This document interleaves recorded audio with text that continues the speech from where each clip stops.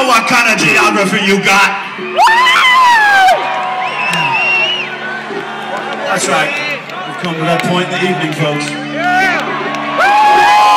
We've got to get out of the car.